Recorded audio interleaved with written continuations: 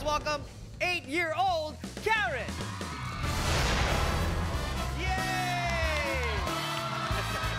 Hi, Karen. Can I get a hug? There you go.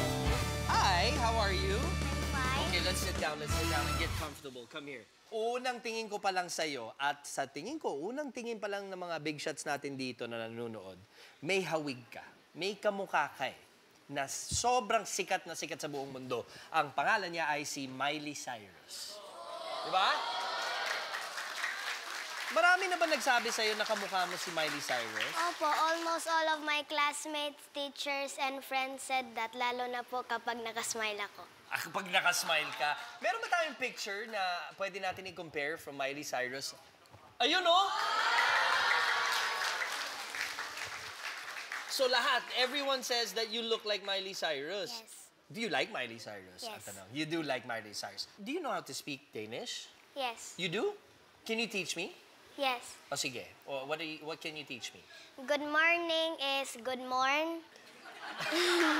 Good morning is good morn. Goodbye is favel. Favel.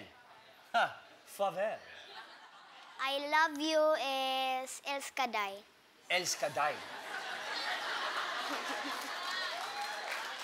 Elskaday. Aliskaday. Yung mga ganun sinasabi. Aliskaday. Okay. Hi, Mami. Kamusta po Kuya. kayo?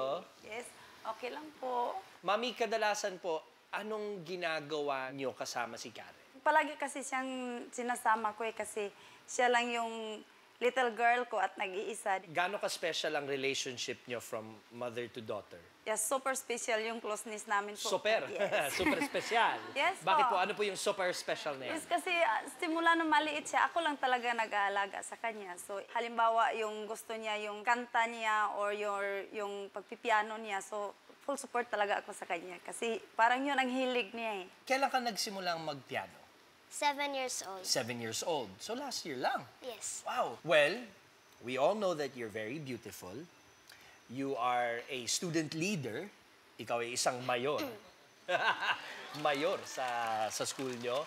And you want to be famous and you want to be a pop star so you can actually visit your dad sa Denmark. Ang sweet naman. Malay mo, nanonood si daddy mo ngayon at makakarating sa daddy mo sa Denmark. May gusto ka bang sabihin sa kanya? Would you like to say anything? Daddy, I love you, I miss you, take care. I promise I will do my best to be a great pop star so I can go to Denmark.